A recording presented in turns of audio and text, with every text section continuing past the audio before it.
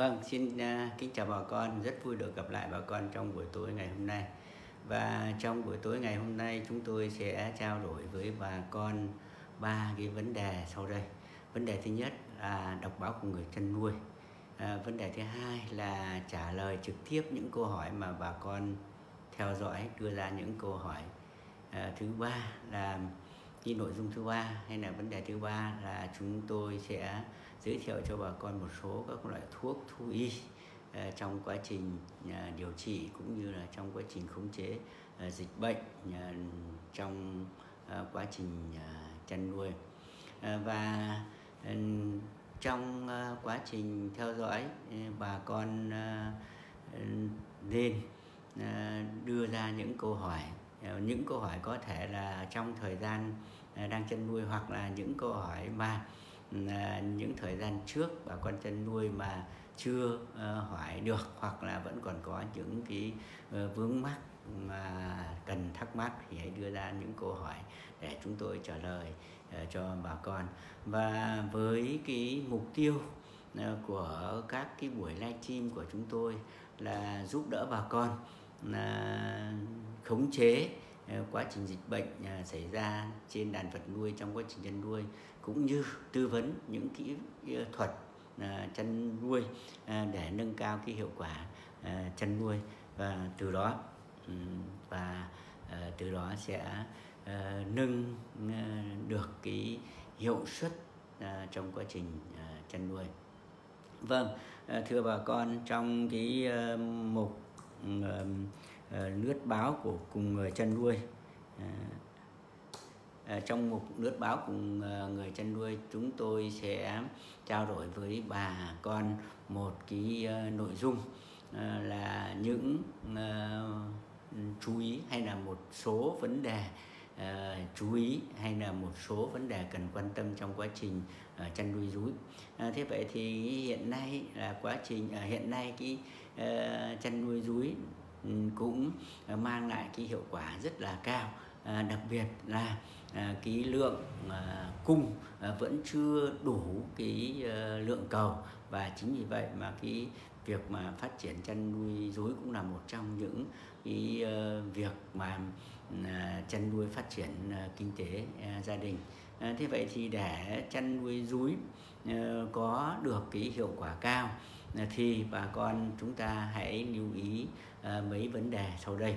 Vấn đề thứ nhất là trong quá trình chăn nuôi bà con cần phải uh, lưu tâm uh, tới uh, đàn suối. thế vậy thì cái vấn đề lưu tâm ở đây là uh, một ngày cần phải uh, chăm sóc nuôi dưỡng cũng như là quan sát uh, đàn rúi ba lần. Uh, thứ nhất là vào buổi sáng uh, thứ hai là vào buổi trưa và thứ ba là vào buổi tối. Thế vậy thì cái việc quan sát ở đây nó đóng một vai trò hết sức quan trọng à, cái vấn đề thứ nhất là về buổi sáng. Thì à, quan sát à, xem là qua một đêm à, rúi à, có bị ảnh hưởng à, vấn đề gì không? Thế vậy thì cái uh, quan sát buổi sáng đây là xem là à, cái trạng thái rúi có bình thường hay không uh, phân uh, ra sao và thức ăn như thế nào. Đó, và thức ăn như thế nào. Và uh, rúi có những cái biểu hiện gì khác thường nha có những biểu hiện gì khác thường.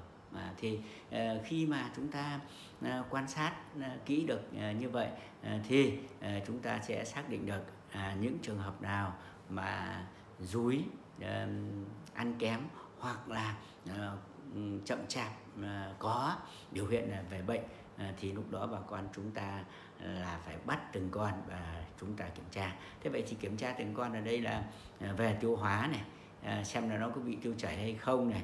À, thứ hai là da à, có bị à, viêm à, hoặc có thể bị là à, nấm hay là à, ghẻ hay không này. À, thứ ba là có bị đau mắt hay không này. Thứ tư là à, có bị là à, chảy nước mũi hoặc là có hiện tượng là viêm phổi hay không vân vân. À, thì cái việc mà Ờ, quan sát và chăm sóc ờ, thường xuyên ờ, đối với rúi thì sẽ cho giúp cho chúng ta thì đánh giá được cái tình trạng sức khỏe cũng như là phát hiện được sớm những à, rúi bị bệnh để mà can thiệp được kịp thời. Thế còn à, buổi trưa à, thì chúng ta cũng kiểm tra đặc biệt là vào cái những ngày nắng nóng à, xem là cái à, có cái hiện tượng tác động ở stress nhiệt hay không hay có hiện tượng sốc nhiệt hay là à, là không. Thì đấy là à, buổi trưa còn buổi tối. Thì à, chúng ta là phải quan sát xem cái lượng thức ăn còn thừa. Và khi mà cái lượng thức ăn còn thừa vào buổi tối thì chúng ta nên thu dọn nên chúng ta nên thu lại. Bởi vì nếu mà không thì chúng ta thấy là qua một đêm à, thì nó có thể là dính à, phân à, cùng nước tiểu hoặc là cũng có thể làm những cái thức ăn xanh mà chứa nhiều nước thì nó sẽ bị đặc biệt là những thức ăn mà có hàm lượng đường, ví dụ như mía thì nó sẽ bị phân hủy. Mà bị phân hủy thì nó ảnh hưởng rất lớn đến cái chất lượng của thức ăn. Và lúc đó nhá. Và lúc đó thì rúi ăn vào sẽ bị viêm ruột uh, tiêu chảy uh, hoặc uh, có thể là bị gì uh, trúng độc mà cho nên uh, uh, bà con chúng ta trong quá trình chăn nuôi rúi thì cần phải theo dõi rúi hàng ngày và một ngày cần phải theo dõi ba lần buổi sáng buổi trưa và buổi chiều. À, thì tôi nhắc lại là cái việc quan sát ở đây để giúp cho chúng ta thấy được là cái trạng thái à, của của rúi và à, sẽ phát hiện được sớm những trường hợp mà à, rúi có biểu hiện bệnh à, để chúng ta điều trị à, kịp thời và với hiệu quả cao. À, thì đấy là cái à, lưu ý thứ nhất bà con chúng ta cần phải lưu ý. Cái lưu ý thứ hai là đối với chuồng nuôi. Thế vậy thì Ờ, chuồng uh, ờ, đối với ờ, uh, chuồng nuôi thì một số uh, khi mà chúng tôi đi tới uh, tham quan một số bà con uh, trong quá trình uh, chuồng nuôi thì uh, thấy là uh, nuôi ở đây là uh, thường là ở các cái uh, ngăn hộp gỗ uh, và ở dưới là uh, dưới nền chứ không phải nuôi sàn. Uh, nhưng theo chúng tôi thì bà con chúng ta cần phải nuôi nuôi sàn à, phải nuôi sàn. Và cái nuôi sàn đấy thì chúng ta thấy là có những cái khay mà đựng phân à, thì à, phân nó bị à, phân hủy hoặc là những trong trường hợp mà à, phân mà tồn động lại thì nó sẽ không ảnh hưởng lớn tới cái uh, sức khỏe của ờ, đàn rúi. Và chính vì vậy mà làm cho cái môi trường chăn nuôi là uh, có uh, thường xuyên uh, sạch sẽ khô ráo và giảm À, cái lượng khí độc trong à, chuồng nuôi mà từ đó cũng ảnh hưởng tới à, cái sức khỏe của đàn rúi. Đặc biệt là nếu mà chuồng nuôi mà ẩm thấp mà đồng thời mà bị ô nhiễm thì cái lượng khí độc trong chuồng nuôi sẽ nhiều và khi nhiều thì nó sẽ ảnh hưởng tới cái bệnh ở đường tiêu hóa đặc biệt là bệnh ở đường hô hấp. Thì do đó mà à, bà con chúng ta cần ý. Và à, cũng phải định kỳ à, tẩy uế chuồng nuôi Ờ, bằng các cái ờ, thuốc ờ, sát trùng. Tất nhiên là khi mà sử dụng các thuốc sát trùng thì bà con chúng ta cần phải sử dụng những loại thuốc mà sát trùng mới hiện nay. Có tác dụng là diệt khuẩn rất tốt nhưng mà không ảnh hưởng hoặc ít ảnh hưởng tới cái tình trạng sức khỏe của con vật cũng như là đối với con người. Thì đấy là cái uh, à, thứ hai là chuồng nuôi.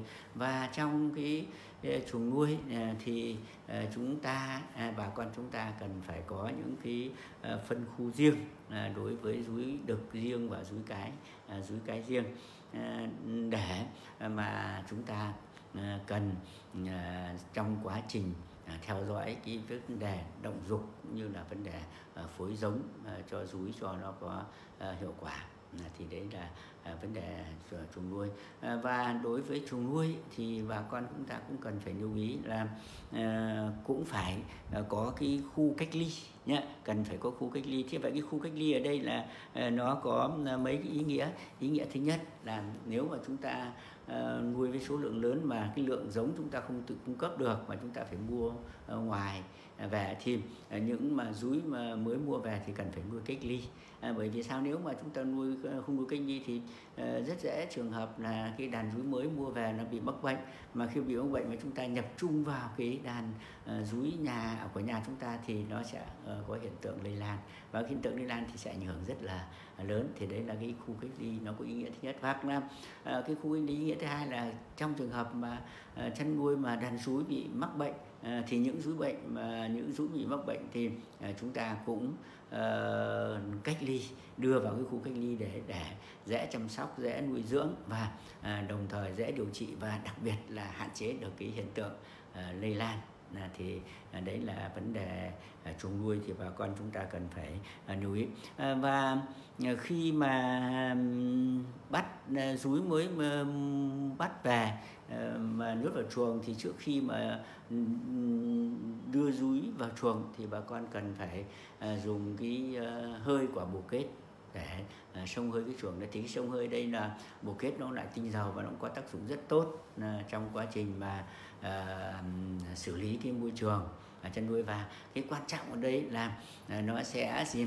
ừ, à, giảm à, từ cái cái mùi bồ kết đấy nó sẽ làm à, giảm à, những cái à, hơi lạ à, tức là cái điều kiện chăm sóc nuôi dưỡng khác nhau ở, ở các cái khu vực môi trường khác nhau thì nó có mùi khác nhau cho nên rúi mà chúng ta à, mới bắt về thì mà lại để vào à, cái ô chuồng à, mà chúng ta không xung hơi bổ kết thì Ờ, nó sẽ là có ờ, cái mùi lạ và khi mùi lạ thì nó cũng ảnh hưởng rất lớn. Đấy cũng là một cái tác động stress đối với rúi cho nên ờ, chúng ta dùng cái hơi của bồ kết để giảm cái cái mùi lạ à, trong cái môi trường chăn nuôi mới đối với rúi mà nó cũng sẽ giảm cái tác động stress và giảm cái uh, dịch bệnh à, xảy ra đối với đàn rúi thì đấy là vấn đề uh, thứ ba. Uh, vấn đề thứ tư uh, là đối với nguồn thức ăn. À, thế vậy thì cái nguồn thức ăn ở đây đối với rúi thì chủ yếu là những thức ăn à, thức ăn à, à, khô cứng. À, ví dụ như là tre ví dụ như là mía ví dụ như là măng và một số các cái à, lá à, cây khác à, thế vậy thì trong quá trình mà sử dụng thức ăn thì bà con chúng ta cần phải à, lưu ý à, thức ăn là cần phải là thức ăn mới à, và hạn chế. Hay nói là không để những thức ăn tồn à, lưu lâu ở trong cái, cái uh, quá trình uh, chăn nuôi.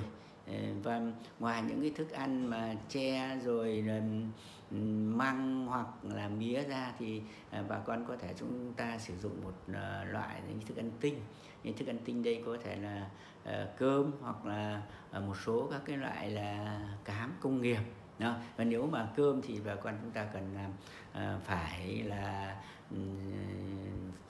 trộn thêm một chút nước và sau đó gạn nước ra để cho cơm và sau đó là để cho cơm nó khô và khi mà cơm nó khô lại ta uh, rớt um, nó bớt nước đi thì bà con có thể chúng ta có thể trộn một số các cái uh, thuốc ví dụ như là bột B khoáng các vitamin B1 uh, C vitamin A D E uh, và một số các cái loại men.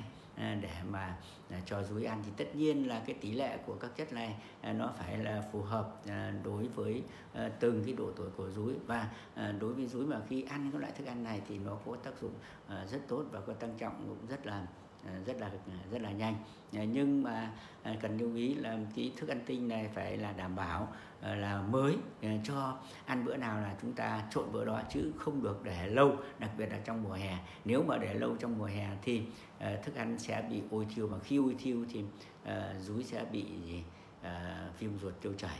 À, thì đấy là vấn đề thứ tư. Và vấn đề thứ năm ở đây là phải định kỳ à, bổ sung à, một số các loại thuốc để kích thích tăng trọng cũng như là nâng cao sức đề kháng và bồi bổ cơ thể à, ví dụ như là protein khoáng à, vitamin à, nhóm B à, và à, vitamin ADE à, cũng như là vitamin à, tổng hợp. Thì những loại vitamin này nó vừa có tác dụng à, là tăng cường cái sức đề kháng trợ sức trợ lực và tăng cường cái quá trình tiêu hóa hấp thu. Và từ đó nó sẽ hạn chế được bệnh và à, nó sẽ gì à, hạn chế được mà cái uh, tiêu chảy và tăng cường cái quá trình tiêu hóa À, hấp thu. À, cho nó cho nên nó cũng có tác dụng là kích thích à, tăng trưởng. Uh, thì đấy là vấn đề thứ tư. Vấn đề thứ năm là phải là sử dụng cái thuốc để mà phòng bệnh cho rúi.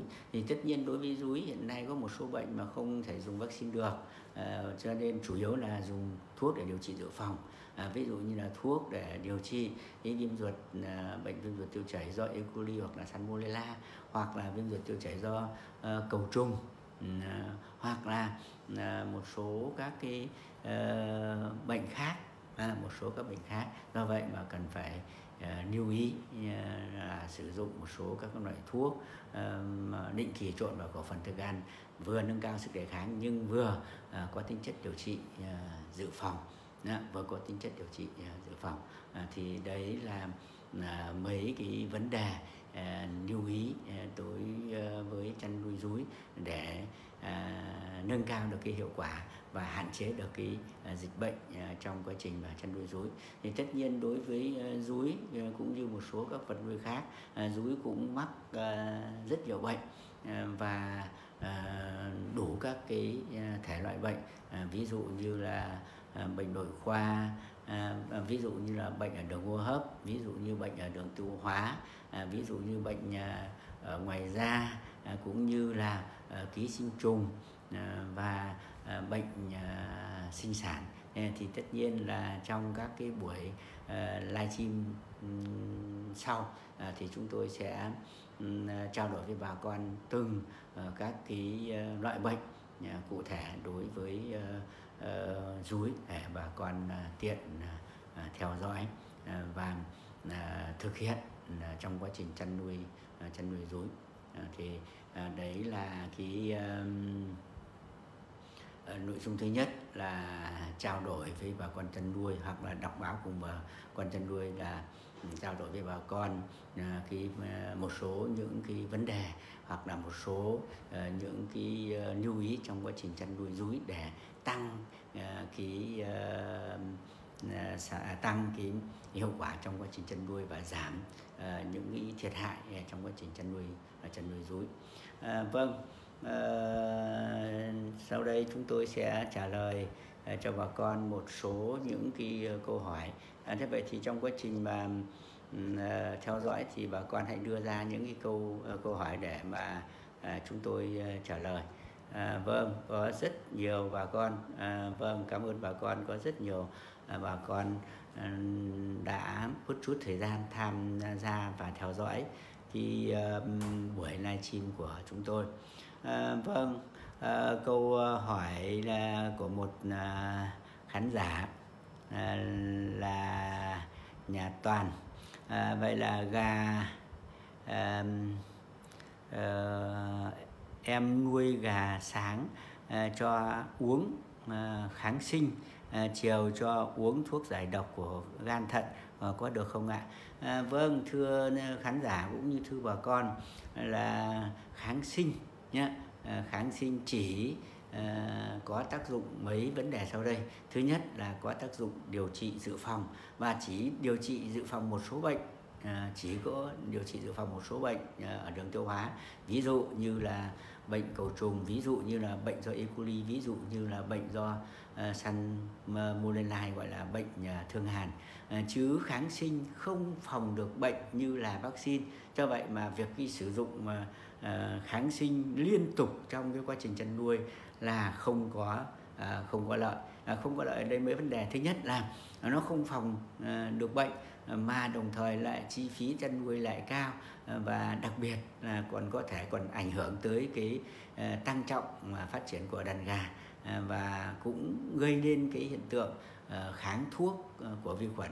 Và sau này nếu đàn gà mắc bệnh mà sử dụng các loại kháng sinh đó thì cái hiệu quả điều trị nó sẽ ờ, không cao. Cho nên cái việc mà sử dụng kháng sinh ở đây thì khán giả cũng như bà con cần phải lưu ý là trong các cái trường hợp mà khí hậu thời tiết thay đổi ví dụ như là nắng nóng và lạnh thì có thể là sử dụng một số các loại kháng sinh để điều trị dự phòng một số bệnh ở đường ở hô hấp gây nên hiện tượng hen khẹt. Hoặc là cái điều kiện khí hậu thay đổi đột ngột thì dùng một số loại kháng sinh để điều trị dự phòng một số các bệnh mà gây nên cái hiện tượng tiêu chảy ví dụ như là E. coli và salmo à, salmonella chứ không được dùng thường xuyên cứ sáng lại dùng uh, kháng sinh mà lại chiều thuốc uh, thuốc bồi bổ là cơ thể. À, và cái thuốc bồi bổ cơ thể ở đây cũng vậy. Không phải là người ta sử dụng liên tục từ lúc bắt đầu nuôi gà cho đến khi xuất bán. Mà à, chúng tôi nói rất nhiều là định kỳ nhé à, sử dụng định kỳ. Thì định kỳ đây là cứ mỗi một tháng à, một lần và mỗi một lần là từ 7 đến 10 ngày. À, thì à, nó có tác dụng rất tốt đối với quá trình à, chăn nuôi kích thích sinh trưởng phát triển và đồng thời nó cũng giảm những chi phí trong quá trình chăn nuôi. Ờ, cho nên là nếu mà cứ dùng thường xuyên thì ờ, cái hiệu quả nó cũng chỉ cứ vậy thôi và nó tăng cái chi phí trong quá trình chăn nuôi cho nên cái hiệu suất là uh, chăn nuôi nó sẽ không uh, sẽ không cao. Uh, thế còn thì trong quá trình điều trị uh, thì uh, cái việc mà sử dụng kháng sinh với sử dụng các cái loại thuốc bồi bổ cơ thể thì bà con cũng như là khán giả à, cần phải tách riêng. À, ví dụ như là sử dụng à, thuốc kháng sinh à, riêng Ờ, và sử dụng các cái thuốc bồi bổ cơ thể, bồi bổ cơ thể cơ thể riêng. Không nên là ờ, phối hợp cả kháng sinh với thuốc bồi bổ cơ thể ờ, để mà tác động vào cho đàn cho đàn gà mà chúng ta phải tác động là tác động riêng. Có thể là tác động à, làm à, hai buổi buổi sáng là chúng ta sử dụng kháng sinh cho gà uống hoặc trộn vào phần thức ăn. Còn buổi chiều là chúng ta sử dụng các cái thuốc mà à, có tác dụng nâng cao sức đề kháng bồi bổ cơ thể. Ví dụ như là vitamin ADE vitamin tổng hợp glucocase và thuốc giải độc gan thận. Vâng à, thì đấy là cái uh, uh, câu hỏi thứ nhất mà khán giả À, nêu ra. À, câu hỏi thứ hai à, là thầy cho em hỏi cái phác đồ điều trị sưng phù đầu ở lợn là sau cai sữa đấy ạ. À, vâng cái bệnh phù đầu sưng mặt là do E. coli dung huyết gây nên. À, và à, bệnh này là thường xảy ra đối với à, lợn ở cái độ tuổi từ 6 đến 9 tuần tuổi nhé từ 6 đến 9 tuần tuổi thì tất nhiên đấy là là sau cai sữa nhưng sau cai sữa với một cái ờ, khoảng ờ, thời gian cũng là, là tương đối à, tương đối dài. À, thế vậy thì đối với bệnh này là cái tỷ lệ mắc bệnh thường là thấp nha. Tỷ lệ mắc bệnh thường là thấp và à, cái tỷ lệ à, chết sẽ cao à, tức là nếu mà lợn mắc bệnh mà chúng ta tác động không kịp thời thì là cái tỷ lệ chết à, sẽ rất cao. À, và cái việc mà à, trong một đàn lợn mà cái lợn bị mắc bệnh thường là mắc những cái con to khỏe nhất nhá, thường mắc những cái con à, to khỏe nhất và phàm ăn nhất thì sẽ sẽ bị mắc bệnh. Và đối với bệnh này thường xảy ra à, chết đột ngột. À, thế hiện tượng chết đột ngột ở đây là gì? Là do cái à, lượng à, chất độc hay cái lượng mà độc tố mà vi khuẩn tác động và sản sinh ra. À, thì lúc đầu là cái lượng độc tố ở trong cơ thể ít thì lợn không có biểu hiện gì cả. Nhưng khi mà lượng độc tố mà của vi khuẩn tiết ra nhiều thì nó gây độc uh, cho cơ thể và con uh, lợn uh, chết rất là nhanh. À, thường gây nên hiện tượng đột tử và có cái hiện tượng kêu này hộ hiện tượng là dãy ruộng một lúc xong là là, là chết. Thế còn trong một số trường hợp là, là có cái biểu hiện là lợn đi uh, theo kiểu bơi trèo làm dựa tường uh, và uh, có cái biểu hiện phù đầu uh, phù đầu xương mặt thì cái dạng đấy là à, dạng là gọi là dạng là uh, cấp tính. Thế còn dạng trên là quá cấp tính. Ừ, quá cấp tính. Thì đấy là những cái biểu hiện của cái bệnh phù đầu vàng. Ờ, những ờ, ờ, độ tuổi mà lợn bị mà mắc bệnh phù đầu và sưng mặt. Vậy để điều trị cái bệnh này thì trước kia thì chúng ta thấy là chưa có cái kháng thể. À, vì vậy mà cái hiệu quả điều trị nó không cao. Nhưng hiện nay đã có cái kháng thể rồi thì cái hiệu quả điều trị là rất là cao. Đấy cụ thể điều trị như thế này. À, việc đầu tiên là à, toàn đàn là phải điều chỉnh lại cái khẩu phần thức ăn. Thế vậy cái điều chỉnh lại khẩu phần thức ăn ở đây là gì? Là phải giảm cái lượng thức ăn tinh tăng cường những cái thức ăn thô xanh tức là cho ăn nhiều rau xanh lên. Và cái lượng thức ăn tinh ở đây là chúng ta phải giảm đi là 1 phần ba. Và 1 phần ba cái lượng thức ăn đấy thì cũng phải là cho lợn ăn nhiều bữa chứ không cho ăn cùng một bữa uh, cùng một lần nha phải uh, giảm uh, lượng thức ăn và đồng thời phải cho ăn làm nhiều bữa. Thì đấy là cái thứ nhất là phải điều chỉnh lại cái khẩu phần thức ăn. À, và vấn đề thứ hai ở đây là trong quá trình uh, điều trị Ờ, là chúng ta phải dùng kháng thể E. coli nhá à, anh cũng như là bà con phải dùng kháng thể E. coli thế vậy cái kháng thể E. coli đây là bắt buộc phải tiêm vào sang phúc mạc hay người ta gọi là vào song bụng hay là phúc xoang ấy chứ còn ờ, uống là không có hiệu quả một số bà con mua kháng thể về cũng dùng kháng thể nhưng mà thôi uống nó sẽ không có hiệu quả mà phải tiêm vào sang phúc mạc và tiêm liên tục 3 ngày liền à, tất nhiên khi mà tiêm kháng thể E. coli vào sang phúc mạc à, cho lợn thì có một số những cái um, cá thể à, có cái phản ứng phòng vệ. Thì hiện tượng mà sốc ờ, phản vệ ở đây là à, lợn có thể là à, co giật chảy nước dãi nhưng sau một cái khoảng thời gian nhất định nó sẽ gì? Nó sẽ hồi phục. Dạ, thì đấy là cái việc mà dùng kháng thể Eculi thì cần phải lưu ý như vậy. Như vậy thì song song với việc là dùng kháng thể Eculi, thì anh cũng như bà con là dùng thuốc đặc trị đối với Eculi. À, ờ, thế vậy thì cái thuốc đặc trị đối với Ecoli hiện nay có rất nhiều các loại thuốc, ví dụ như là colistin, à, ví dụ như là Enroflox 20%, ví dụ như thiamphenicol 20%, ví dụ như florphenicol 20% hoặc là flor 20% vân vân. À, thì à, tiêm à, kháng thể à, đồng thời là tiêm kháng sinh luôn. Nhưng, nhưng à, không được trộn kháng sinh với kháng thể mà chúng ta tiêm ở hai nơi nhé ở hai chỗ à, hai chỗ khác nhau. À, thì đấy là à, cái à, kháng thể và à, kháng sinh. À, và dùng thuốc để tăng cường cái giải độc và tăng cường sức đề kháng và bồi bổ cơ thể. Thì thuốc tăng cường giải độc và tăng cường sức đề kháng là dùng vitamin C kết hợp với B1 kết hợp với caffeine đặc biệt là urotropin nhá. Đặc biệt là urotropin. Thì urotropin có tác dụng là tăng cường cái giải độc uh, cho cơ thể tức nó giải độc cái độc tố uh, của cái E. coli tác động đối với cơ thể. À, thì uh, mấy loại thuốc này nếu mà với một cái lượng lớn thì phải tiêm uh, tiêm hai lần. À, như vậy ba bốn loại thuốc này có thể là chúng ta À, tác động à, vào với nhau. Thế vậy thì nếu mà số lượng nhiều thì là dùng à, vitamin C này với caffeine nhá với caffeine là một mũi. À, thế còn vitamin B1 với là urotropin à, tiêm à, trộn vào là làm à, cùng một mũi. À, thế vậy là đấy là thuốc trợ sức trợ lực nâng cao sức đề kháng và à, bồi bổ cơ thể. À, và đồng thời à, dùng à, glucocase thảo dược kết hợp với vitamin ADE và vitamin tổng hợp. Ờ, đặc biệt là thuốc giải độc gan thận như Boganic, Boganox hoặc là Forentic hòa với nước cho lợn uống tự do nhá, hòa với nước cho lợn uống uh, tự do. Ờ, và trong trường hợp nhá, trong trường hợp nếu mà uh, lợn có cái triệu chứng thần kinh thì phải dùng thuốc an thần. Thì dùng an thần ở đây có thể là dùng prozin hoặc có thể là aminazin à, aminazin à, aminazin để mà à, tiêm cho lợn à, giảm những tác động stress à, và giảm cái triệu chứng à, thần kinh. À, thế vậy thì với cái à, phác đồ này tác động thì à, nó có hiệu quả rất là cao. Và phác đồ này không những chỉ điều trị cho những con lợn bệnh mà chúng ta điều trị cả à, cho tất cả những con trong đàn.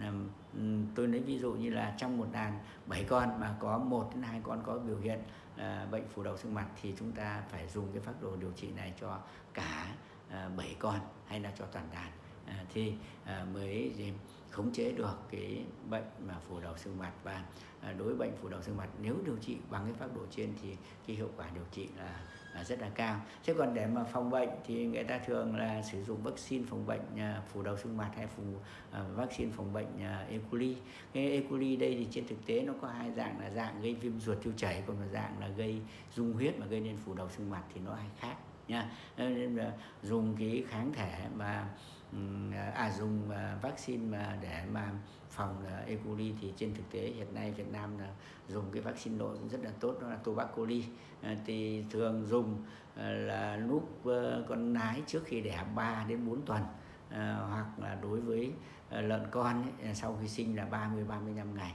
à, chúng ta tác động vaccine thì sẽ hạn chế được cái bệnh phù đầu xương mặt à, đối với đàn lợn rất là tốt. Vâng, à, một à, khán giả nữa à, nói à, câu hỏi là à, cho em à, hỏi là em nhà em gà nuôi sáng cho uống kháng sinh và chiều cho à, uống à, thuốc giải độc con thận. Cái này đã tôi đã trả lời rồi.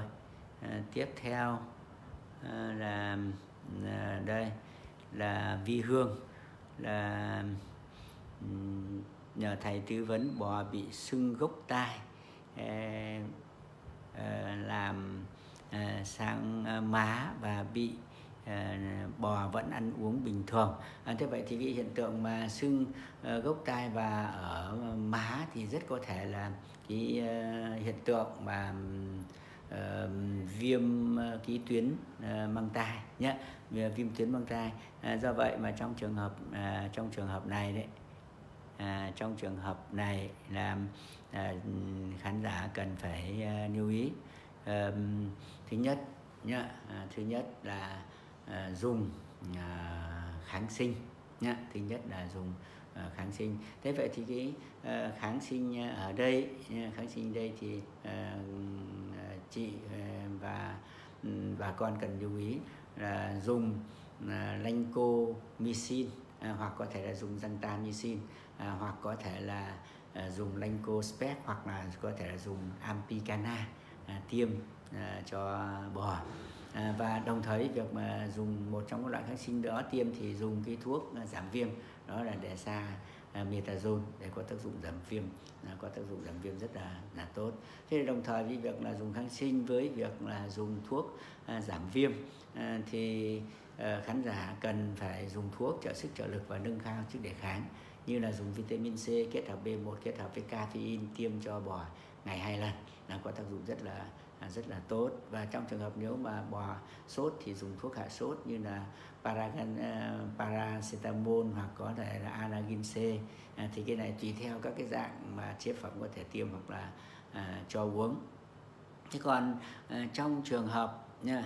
Ờ, trong trường hợp mà ờ, mắt ờ, bị viêm và thường có gen một số người là ở một số nơi gọi là gen hoặc là một số nơi gọi là có rử à, thì à, nếu mà rử cho dài thì đây cũng là một trong các cái biểu hiện à, thứ nhất là cái môi trường chăn nuôi kém mà gây nên hiện tượng viêm kết mạc. Nhưng đa số là à, thường là um, do cái nhiễm uh, ký sinh trùng đường máu mà gây nên hiện tượng viêm kết mạc giác mạc mà ờ, uh, con vật uh, bò thường là đau mắt chảy nước mắt và mắt có có giữ có giữ uh, xanh và khô đặc ở hai bên khóe mắt. Thì vậy trong trường hợp này là khán giả là dùng nước muối để rửa sau đó là dùng gentamicin dạng nước nhỏ vào đấy đồng thời với việc là dùng acidin nhé acidin thì acidin là cái thuốc mà điều trị khí trùng đường máu để tiêm, nhưng trong trường hợp này là phải tiêm vào tĩnh mạch, tiêm chậm vào tĩnh mạch. À, và liều lượng theo chỉ dẫn trên bao bì sản phẩm mà phải tiêm hai lần à, cách nhau 4 ngày à, thì cái hiệu quả điều trị cái nhiễm trùng đường máu nó sẽ cao. Và điều trị như vậy là cần lưu ý là điều trị cái hiện tượng là viêm, cái tuyến đục bọt viêm tuyến bằng tai sau 5 đến 7 ngày thì mới dùng thuốc điều trị ký sinh trùng Ờ, đường máu và điều trị ờ, hai lần cách nhau ờ, 4 ngày. Vâng à, là khán giả còn hỏi thêm là gà bị sưng mắt có bã đậu à, và điều trị như thế nào? Thế vậy thì cái hiện tượng mà viêm viêm mắt ở đây nó có mấy cái uh, vấn đề hay là do mấy cái nguyên nhân? Nguyên nhân thứ nhất là do cái điều kiện à, môi trường à, chăn nuôi bị ô nhiễm. À, ví dụ như là cái chất độn chuồng quá bẩn rồi chuồng trại không thông thoáng nó sẽ ảnh hưởng. Thứ hai là có thể là do cái run nhá ấu trùng run tròn ở gì, ở mắt hay gọi gọi là run run ký sinh, run tròn ký sinh ở ở mắt. Và thứ ba là có thể do một số các bệnh gây nên. Ví dụ như là một số bệnh ở đường hô hấp như là ORT, CRD à, hoặc có thể À, là IB à, hoặc có thể là, là APV nó cũng gây nên cái hiện tượng à, viêm mắt và đau mắt như vậy. Đấy, vậy thì trong trường hợp này thì um, khán giả cần lưu ý. À, ví dụ như là chỉ có cái hiện tượng là à, viêm mà có sự ở mắt mà gà thường là dùng chân gãi và mắt còn không có biểu hiện gì khác. Thì trong trường hợp này là do viêm à, viêm à, kết mạc là do cái ô nhiễm môi trường ờ, và có thể là nhiễm run tròn. Ờ, vì vậy mà khán giả là dùng cái um, răng tamicin dạng nước nhỏ vào vào mắt nhé Ờ, nhỏ vào mắt trong trường hợp mà nếu mà bị nhiều thì có thể là pha cái răng tamicin với một cái ờ, nồng độ thích hợp sau đó là dùng ờ, cái bình bơm áp lực lớn phun. Thì nó sẽ bụi răng gentamicin cái bụi thuốc đấy nó cái nó sẽ vào thấm vào mắt cũng có tác dụng. Nhưng đặc biệt là sau cái sử dụng răng uh, thì phải dùng cái thuốc mà để mà điều trị rung tròn ở mắt thì dùng cái ivermectin hoặc nivamisol nhỏ trực tiếp vào mắt. Thì cái trường hợp này là chúng ta à, bắt từng con nhỏ được là tốt nhất mới có hiệu quả nhá. Bắt và à, tốt nhất mới có hiệu quả. Thì đấy là trường hợp đấy. Còn nếu mà trường hợp mà ờ, bị như vậy nhưng có hiện tượng hen khẹt à, thêm cái hiện tượng hen khẹt rối loạn hô hấp nữa thì uh, Ờ, cần phải sử dụng cái thuốc à, đặc trị đối với à, hen khạc thế vậy thuốc điều trị đặc à, đặc trị hen khạc thì có thể là dùng là dosi 50 hoặc dosi 75 có thể là dùng tetramycin hoặc có thể là dùng à, à, erythromycin hoặc có thể à, dùng à, là timicosin nhá. À, thì đấy là những loại thuốc mà à, pha Ờ, với nước cho gà uống hoặc có thể là trộn vào khẩu phần thức ăn.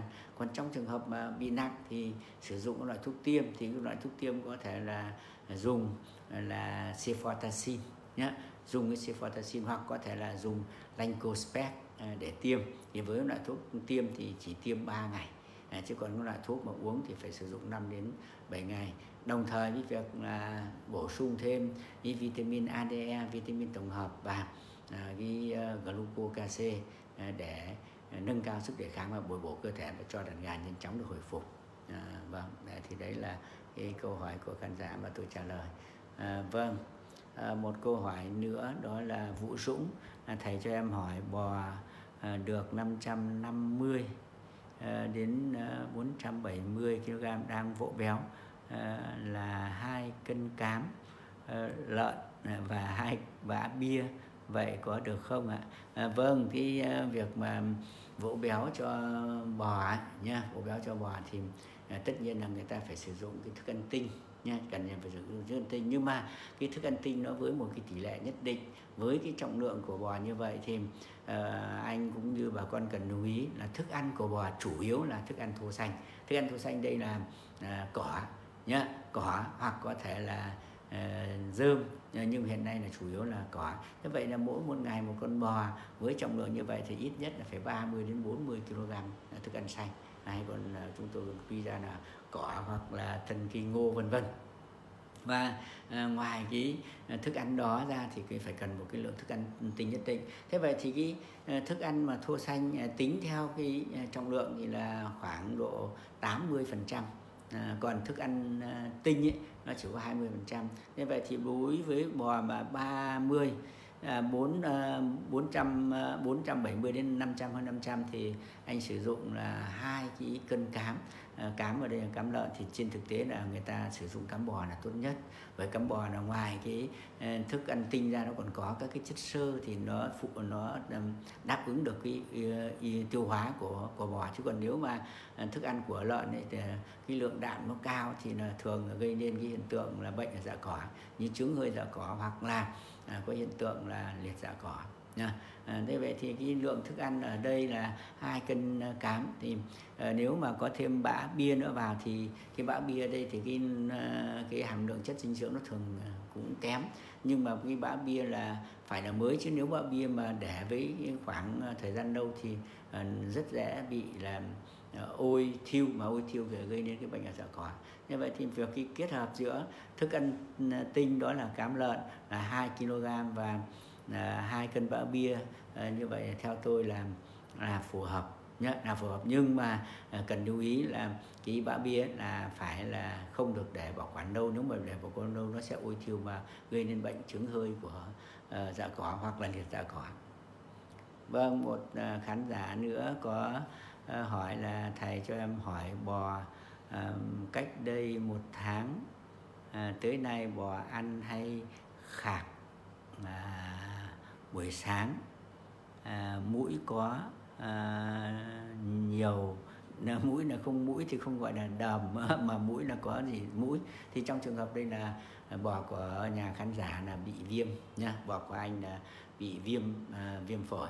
Thì vậy trong trường hợp này thì anh cần phải lưu ý này à, cái vệ sinh chuồng nuôi à, cho nó tốt. Tức là cái chuồng nuôi là không phải để không được để đọng à, cái phân và nước tiểu Ờ, và phải được thông thoáng đặc biệt là trong cái mùa hè nhé à, ờ, thứ hai là dùng ờ, kháng sinh.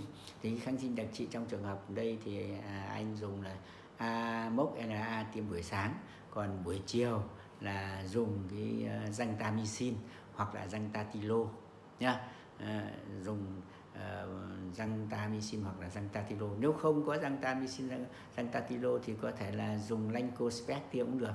Nhưng mà buổi sáng là phải dùng amox na và buổi chiều là dùng gentamicin hoặc là răng hoặc là lancospec à, để tiêm. À, thì đấy là cái kháng sinh. À, và đồng thời là phải sử dụng cái thuốc giảm viêm. Thì thuốc giảm viêm đây nó để samethasone và nếu mà bò đang mang thai thì không dùng để samethasone mà dùng prednisolone và nếu không có prednisolone thì thôi nhưng nếu có mà thuốc giảm viêm thì nó có tác dụng là uh, giảm bệnh rất là nhanh và bệnh nhanh khỏi rút ngắn được cái liệu trình điều trị. Uh, tất nhiên cùng với việc mà uh, dùng thuốc giảm viêm thì dùng thêm cái thuốc mà là giảm ho và đau đờm thì dùng với bromycin để tiêm. Nhưng hiện nay bromycin nó có hai dạng à, dạng cho uống và dạng để tiêm thì đối với bò thì là dùng cái dạng tiêm nó tốt nhất tức là dùng bromycin để để tiêm. Và đồng thời cũng là dùng thuốc mà trợ sức trợ lực nâng cao sức đề kháng và bồi bổ cơ thể. Đó là dùng vitamin C kết hợp với B1 kết hợp với caffeine tiêm cho bò ngày hai lần nhé tiêm cho bò ngày hai lần. Liều lượng theo chỉ dẫn trên bao bì sản phẩm. Và với cái pháp đồ trên à, điều trị liên tục 5 đến 7 ngày à, thì sẽ à, khắc phục được cái hiện tượng mà viêm phổi đối với à, đối với bò và như anh mô tả rồi à, một à, khán giả nữa à, khán giả nữa tôi gọi là Hoàng Hà là à, thầy ờ, cho em à, hỏi lợi ích của gì? À, cho ý xin ý kiến đúng không? À, xin ý kiến là cho ý kiến thức mà giúp ích cho người chăn nuôi và giảm thiệt hại. Vâng à, vâng à, cảm ơn anh. Thì cái này cũng là à, cũng là một phần nào à, để mà giúp bà con à, trong quá trình chăn nuôi hạn chế à, giảm bớt được những cái à, rủi ro và cái thiệt hại à, cũng như là à, giúp cho bà con à, chăn nuôi có hiệu quả cao. À, cho nên là bà con chúng ta cần à, ai có những vấn đề gì thì à, sẽ đưa ra những câu hỏi cho À, cho cho, cho chúng tôi và à, xin bà con luôn đồng hành à, cùng chúng tôi. Rồi một khán giả nữa có đưa ra câu hỏi là gà nhà em được 80 ngày tuổi bị hen khẹt đã điều trị là dùng timicocin à, mốc rồi dùng dosi là không đỡ. À, em muốn cho uống à, mark đô dolan à, cộng enzo. À, à vậy à, à enzo à, liệu có được không? À, vâng à, cái hiện tượng mà hen khạc ở đây thì như bữa trước tôi nói rồi là cái hiện tượng hen khạc là một cái uh, uh, triệu chứng. Nó triệu chứng của rất nhiều bệnh à, ví dụ như là của bệnh à, viêm à, phế quản nha à, viêm à, viêm đường hô hấp mãn tính hay còn gọi là CRD Ờ, bệnh à, thứ hai là bệnh ORT bệnh thứ ba là ILT bệnh thứ tư là bệnh IB à, bệnh thứ năm đó là bệnh à, Newcastle à, vân vân. Thì đấy là đều gây nên cái hiện tượng hen khạc do vậy mà căn cứ vào à, các cái và mỗi một cái bệnh à, khác nhau à, thì à, nó sẽ có cái phác đồ điều trị khác nhau. Mặc dù là chung cái biểu hiện đen khẹt nhưng là nguyên nhân bệnh khác nhau. À, chính vì vậy mà trong trường hợp này thì, thì anh điều trị ở đây thì theo tôi là điều trị với cái phác đồ là chủ yếu là bệnh viêm đường hô hấp mãn tính à, bệnh CRD nhé điều trị theo bệnh CRD nhưng mà trong trường hợp này thì à, do là điều trị theo cái hướng đấy nhưng mà chưa chắc đã bệnh là phải bệnh CRD cho nên cái điều trị nó sẽ không à, không có hiệu quả nhá điều trị nó không hiệu quả. À, vì vậy trong trường hợp này thì theo tôi thì anh cần phải điều trị có tính chất tổng hợp như sau. À, việc thứ nhất là phải cải thiện lại môi trường chăn nuôi. Tức là cái à, môi trường chăn nuôi đây anh kiểm tra xem là à, cái chất độn chuồng có bị ô nhiễm không là phải thay chất độn chuồng. Và đặc biệt trong những ngày nắng nóng này chuồng phải thông thoáng mát nha chuồng phải thông thoáng mát và giảm mật độ của đàn gà đi. Chứ nếu mà không thoáng mát mà lại không giảm mật độ của đàn gà đi thì à, mặc dù dùng thuốc nhưng nó cũng không có hiệu quả à, hay nói cái khác là không cải thiện cái môi trường chăn nuôi thì cái hiệu quả điều trị nó sẽ không cao. Thì đấy là cái thứ nhất mà cần phải lưu ý. À, thứ hai là dùng à, nước tỏi. Thì nước tỏi đây là dùng à, 100 gram tỏi giã nhỏ pha với 10 lít nước gạn lấy nước trong cho gà uống tự do uống thay nước hàng ngày. Và đồng thời bã tỏi trộn vào khẩu phần ăn hàng ngày à, cho toàn bộ đàn gà ăn. Thì đấy là cái uh, ờ, thứ uh, hai bước thứ hai mà anh cần phải thực hiện. Uh, bước thứ ba mà anh cần phải thực hiện đó là anh dùng nhá uh, kháng thể gum tiêm cho toàn bộ đàn gà tiêm liên tục 3 ngày liền liều lượng theo chỉ dẫn trên bao bì sản phẩm.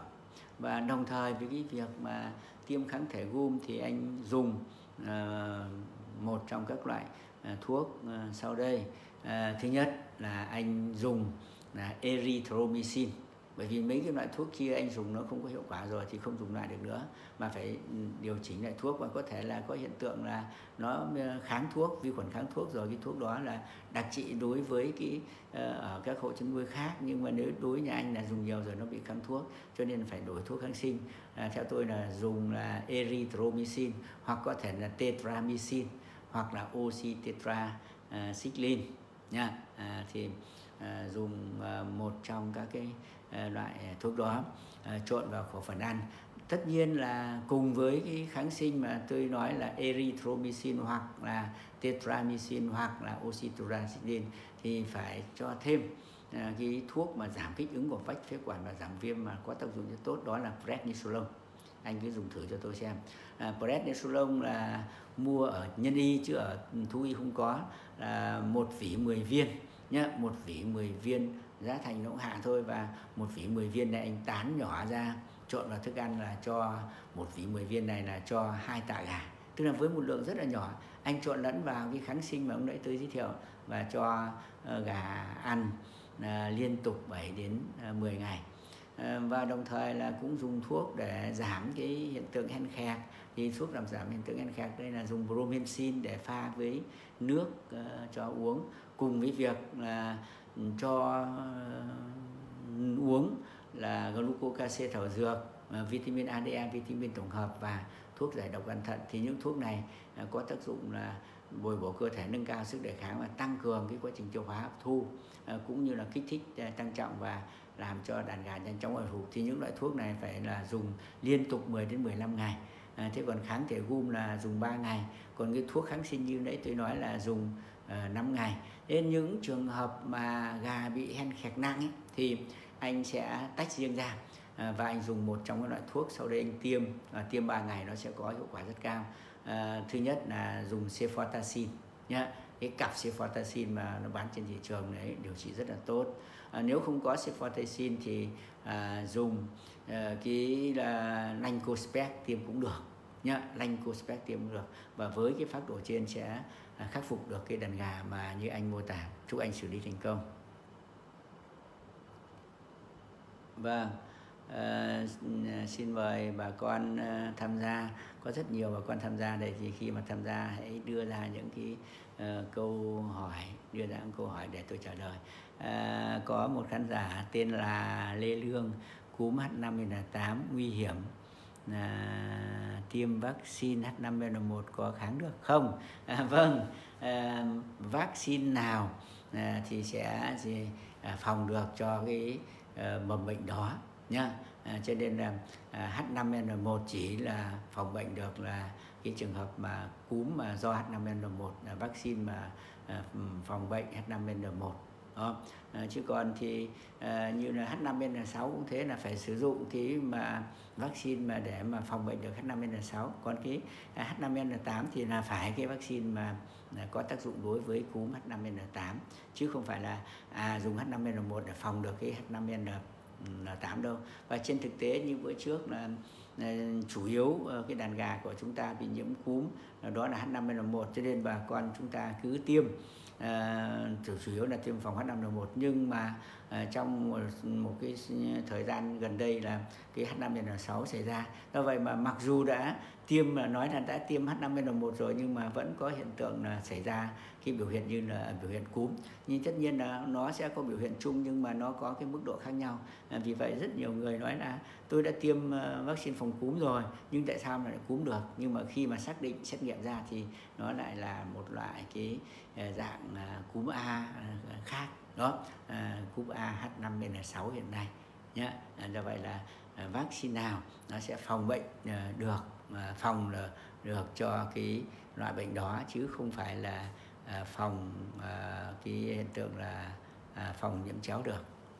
Vâng à, trại dê đại hải à, thầy cho em hỏi dê mới đẻ ra yếu không bú được à, phải vắt sữa mẹ cho bú vậy là cho hỏi cần phải à, trích lại. Vâng à, cái à, việc mà khi mà dê con à, sinh ra mà có các cái à, biểu hiện như vậy thì nó do mấy vấn đề. À, vấn đề thứ nhất là trong quá trình mang thai à, là khi à, quá trình chăm sóc nuôi dưỡng hoặc có thể là do một tác động một số các cái à, trường hợp khác mà làm cho cái thai yếu và khi thai yếu thì là Ờ, đẻ ra được đẻ ra ờ, thì nó sẽ có cái thể trạng như vậy.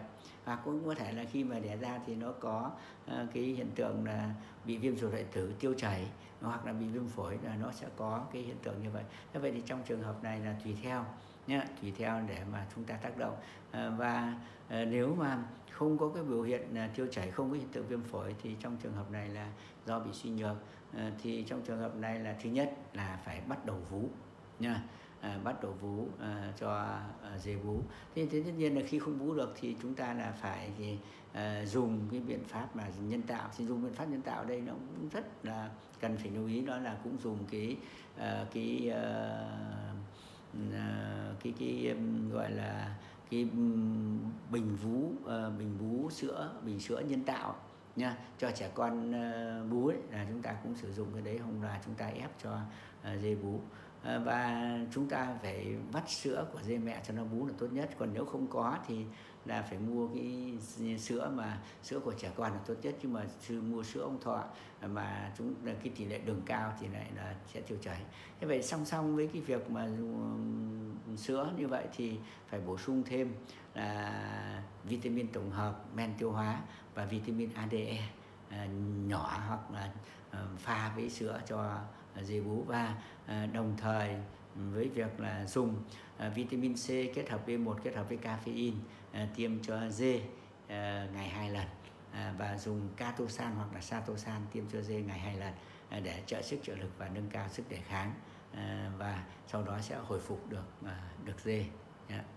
vâng à, xin mời bà con chúng ta tiếp tục đưa ra những câu hỏi à, vâng một à, khán giả nữa. Đó là kỳ đức.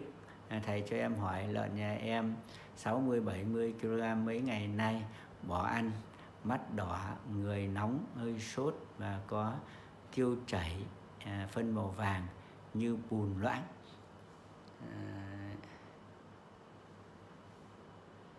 À, cho em hỏi là dấu hiệu. À, vâng thì à, hiện nay đang có cái à, dịch mà à, tiêu chảy do virus. Đây nó không phải là cái dịch tiêu chảy cấp nó không phải dịch tiêu cấp nhưng mà cũng do một loại là à, virus gây nên. Cho nên là cái việc mà à, tiêu chảy ở đây thì à, anh cần phải lưu ý này. À, thứ nhất là phải là ừ, giữ cho chuồng à, luôn khô à, và sạch sẽ à, lưu ý là thấy mà tiêu chảy liên tục như vậy là càng rửa nước thì lại là càng ảnh hưởng. Cho nên trong trường hợp này là chúng ta chỉ là à, thu phân ờ, khô và dùng thuốc sát trùng để tẩy uế thôi chứ không được là rửa liên tục nó cũng ảnh hưởng. Và đồng thời đồng thời là dùng thuốc À, trợ sức trợ lực nâng cao sức đề kháng là chính. À, như dùng vitamin C kết hợp B1 kết hợp với caffeine à, tiêm cho lợn à, hoặc là trong à, cho heo ngày hai lần nhá liều lượng theo chỉ dẫn trên bao bì sản phẩm. Và à, thứ ba là bổ sung à, nước và chất điện giải là dùng điện giải glucose thảo dược kết hợp với vitamin ADE và vitamin tổng hợp cho lợn uống à, tự do nhé cho lợn uống tự do. À, và đồng thời là dùng thuốc kháng sinh. Kháng sinh đây không phải là điều trị virus mà điều trị cái bội nhiễm vi khuẩn thì anh à, dùng cho tôi là là a mốc la tiêm buổi sáng nhá.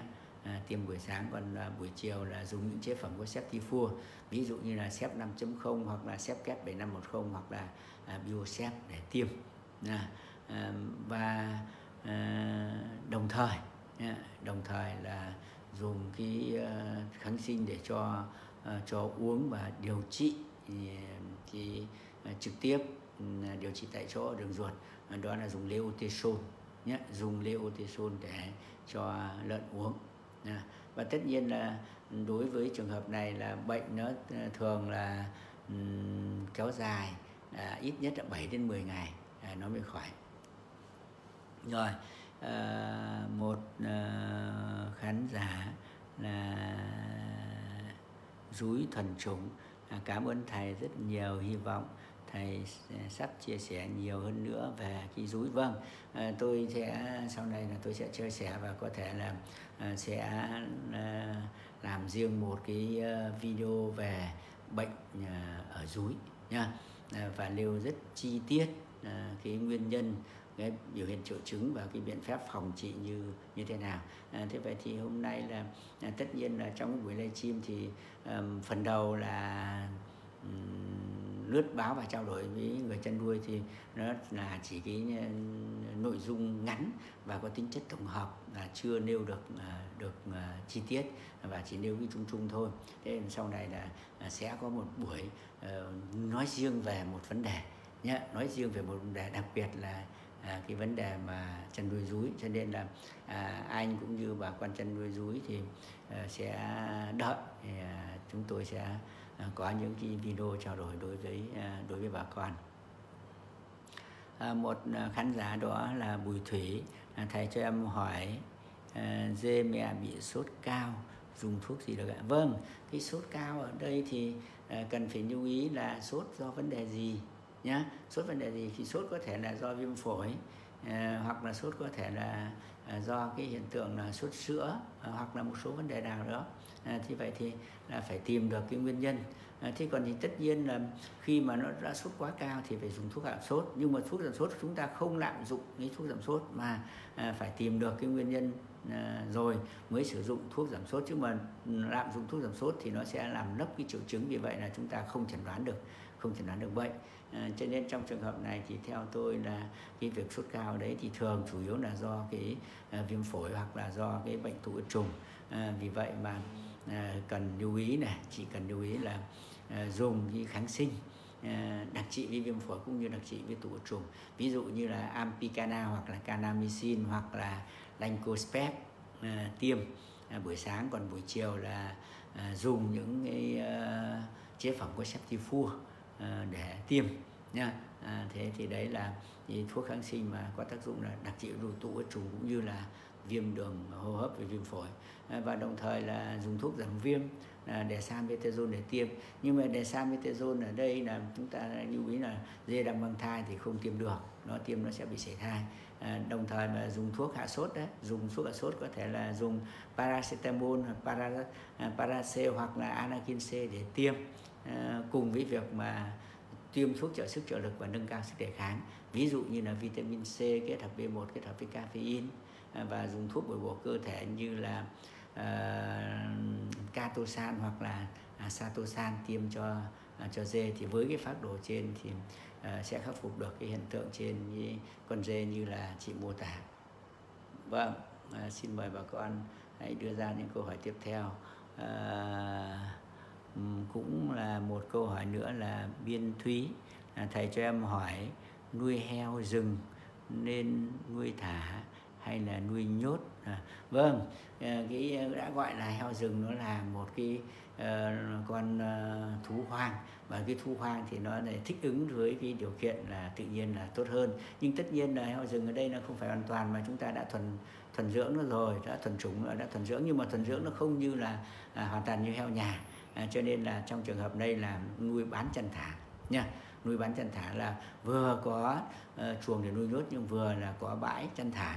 Chứ nếu mà chúng ta nuôi mà lại là cứ là, là thả như hoang dã thì chúng ta khó quản lý khó quản lý. Cái khó quản lý về là số đồ con mà khó quản lý về dịch bệnh và khó quản lý về chăm sóc nuôi dưỡng. À, cho nên là theo tôi là phải chăm chăn nuôi theo cái hiện tượng là bán chăn thả tức là vừa có chuồng uh, ô chuồng để chúng ta quản lý và vừa là có cái bãi để chăn à, thả. Thì thường là à, chúng ta thả vào ban à, ban ngày và trong những cái ngày mà ấm và không có mưa. Chứ còn khi mà giá lạnh mà mưa vào ban đêm thì chúng ta nên phải đưa ờ, heo về cái chuồng để chúng ta chúng ta quản lý. À, vâng còn là rất nhiều các câu hỏi nhưng là do cái thời lượng đã hết thì tôi xin phép bà con À, sẽ đưa vào à, sang cái à, nội dung thứ ba là À, giới thiệu cho bà con một số các cái loại thuốc. À, thế vậy thì một cái loại thuốc mà à, hiện nay trên thị trường đã à, đưa ra đó là cái khắc tinh ecoli nhá.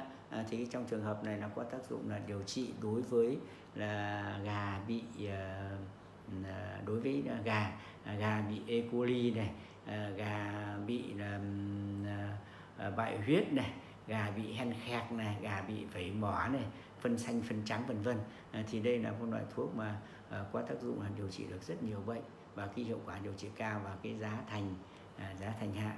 À, và đây là loại thuốc mà của công ty cổ phần uh, Smartvet nhé à, của Smartvet của cái tập đoàn là à, Biovet à, sản xuất.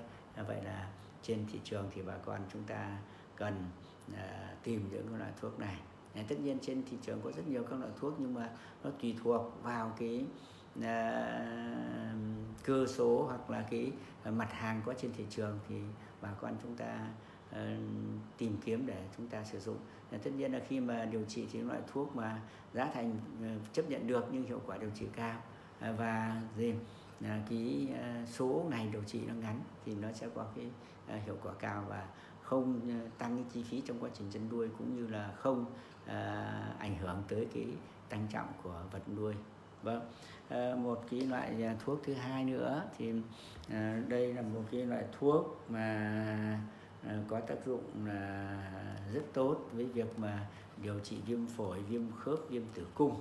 Uh, đó là tiamolin nhá tiamolin la à, và đây là loại thuốc mà à, có tác dụng là kháng sinh thế hệ mới đó.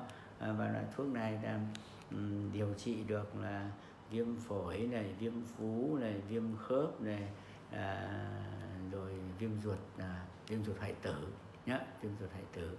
À, và thậm chí cả đó đối với tụ huyết trùng nữa. Thì đây là à, một cái à, thuốc của cái công ty à, Techvet.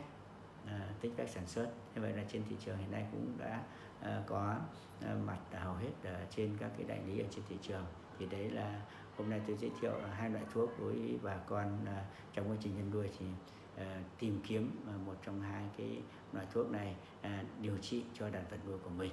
À, vâng à, với khoảng thời gian một giờ đồng hồ chúng tôi đã trao đổi với bà con một số những vấn đề khống chế trị bệnh trong Ờ, chăn nuôi, đối với đàn vật nuôi và tư vấn một số các cái kỹ thuật và trong quá trình chăn nuôi để nâng cao hiệu quả chăn nuôi cũng như ờ, khống chế, hạn chế được cái tỷ lệ rủi ro do bệnh ờ, gây lên. Và một lần nữa xin cảm ơn bà con và chúc bà con một buổi tối tốt lành. Thế vậy thì những bà con nào mà chưa có điều kiện hoặc là không có điều kiện mà theo dõi trực tiếp cái buổi livestream thì bà con hãy đăng ký vào cái kênh YouTube à, của chúng tôi là chuyên gia Phạm Ngọc Thành à, thì à, chúng tôi sẽ tải những cái nội dung trong buổi livestream ngày hôm nay trên cái kênh YouTube. Thì bà con sẽ vào đấy sẽ xem được. À, các cái nội dung trong buổi tối ngày hôm nay. À, tất nhiên trong cái kênh YouTube của chúng tôi hiện nay có à, rất nhiều số đó là 107 số và còn có rất nhiều các cái video mà ờ, có tác dụng ừ, à, hữu ích trong quá trình chăn nuôi khống chế dịch bệnh cũng như là cái kỹ thuật chăn nuôi giúp cho bà con phần nào khống chế được dịch bệnh cũng như là nâng cao được hiệu quả trong quá trình chăn nuôi. Và cũng rất mong bà con luôn đồng hành cùng với cái ờ, kênh YouTube của chúng tôi cũng như ờ, đồng hành ờ, trong các cái buổi livestream trực tuyến trên cái trang fanpage của chúng tôi. Một lần nữa, xin cảm ơn bà con.